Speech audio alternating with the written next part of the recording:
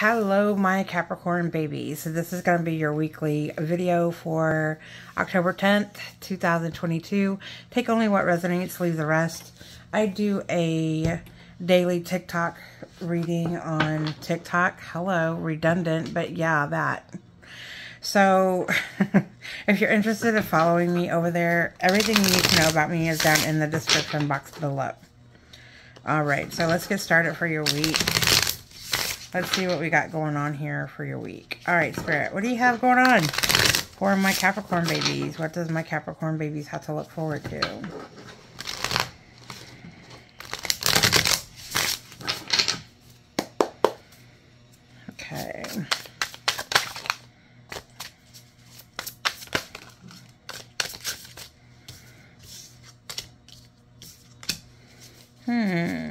All right, so, so far we have the Nine of Pentacles, the Ten of Pentacles. You're putting work into having something that is so strong. A lot of foundation. This could be towards business. You could be stepping up in a business or looking for money um, type things of building up your money. Um, but this is prosperity and abundance, and it comes in different forms. It doesn't just have to be monetary, but there is a sense of you working your ass off for something. And it's something that's going to be a huge payout something that's huge. We do have the Five of Cups. It could be hard. Um, this could be something that is taxing to your emotions. Um, there could be times that you're looking at um, a loss versus a gain. And so it's very important that you look at the positive side versus the negative side. It's almost like, um, it's like the placebo effect. It's like if you train your mind that you're already there, you know, you train your mind, I'm already at the point of where I need to be. You are going to manifest that for yourself and it's going to come to light. It's going to be honest. It's going to be truthful for you and for your reality. So we do have the Five of Pentacles. There is something that you are definitely fighting when it comes to foundation. Like, I feel like that you could be appearing stronger than what you feel. But it's like you don't want to give in to that fear. You don't want to give in to um, showing quote unquote your weaknesses because you feel like if you show that, then you are confirming them. And if you confirm them, what are you doing? You are manifesting that. And so I feel like that you are trying to manifest something else into your life. It's like this is your hope. This is what you have your eyes set upon. Success. Lots of success but there's a little self-doubt creeping in when it comes to emotional and when it comes to your success to this. It's very important that you lean on people when you need to lean on them and, you know, get support when you need to get support. But it's also important for you to be optimistic and to look forward versus backwards. We do have the King of Swords. You could be dealing with an air sign, don't have to be. Um, which would be Aquarius, Libra, Gemini. But this could also be you getting in your head or you're finding out answers from somebody. This is a person who comes in and they give you mental clarity. You know, this person is going to tell you truth. They're going to tell you honesty. They're going to be very knowledgeable about what they do. We do have the Lovers card coming out. You could be dealing with the Gemini. You don't have to be. But this this is a love connection. It doesn't have to be romantic love, but it is a sense of a love connection. You're going to find out whatever truth that you need to find out. And it's like, it's making you connect harder with another person. So we do also have the Queen of Swords coming out. It's like, you could be having a conversation with somebody where you're both being blunt honest with each other. You could both be be blunt honest with each other. One is coming from a more mental standpoint, like a practical view, and one could be coming more from the heart. So it's kind of like that perfect balance of yin and yang, but yet you're doing the same thing for each other. It's like you're providing truth and you're providing clarity. We do have the Fool. You are wanting to take a chance and, and just jump ahead to something. It's almost like you don't want to look. You just want to do it.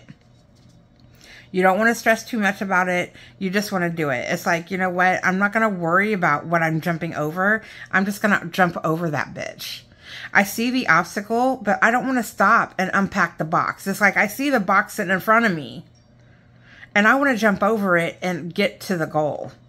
I don't want to stop and unpack that box. And that's kind of the vibe that I get from here, especially with the Eight of Cups. You're deciding to move from one section to another. You are moving from what no longer serves you, nor are you owning it mentally or physically or emotionally. We have the bottom deck energy here of the Temperance. Okay, so you are trying to, you could be dealing with a Sagittarius, you don't have to be, but there is a sense of you balancing things out, finding harmony, finding peace. Maybe you are meditating, maybe you're trying something different, but the Temperance card to me is all about making things peaceful and having patience for it.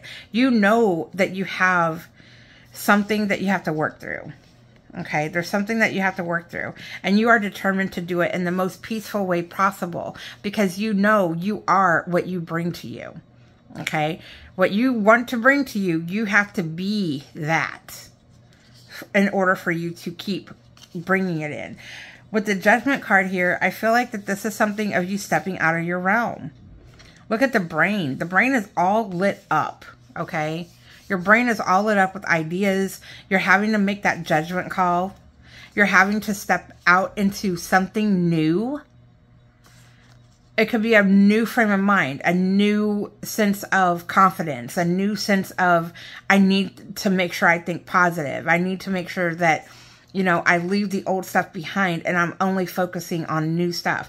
I feel like that you are definitely making a judgment call to go in a certain direction when it comes to your frame of mind. It's like once you change your frame of mind, there's no going back to the old stuff.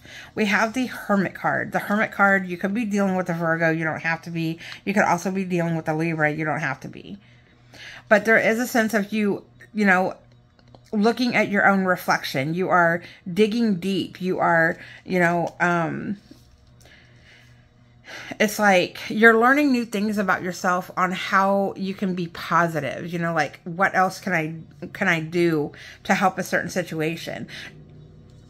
We have the seven of swords of you trying to find different strategies you know you're trying to find different strategies on how to deal with some things, but you have to be mindful about overthinking. There's only so far that you can do when it comes to control. You can only do what you can do and know that it's going to take consistency in order for you to get results.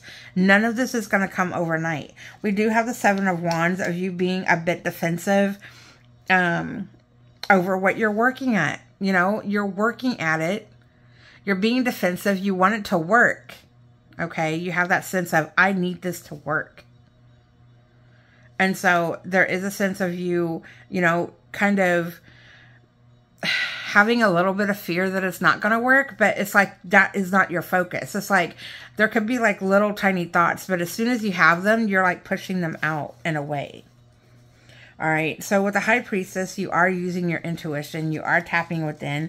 We have the Ace of Cups of you following your heart when it comes to a certain situation. You're having a new beginning of following your heart, opening up.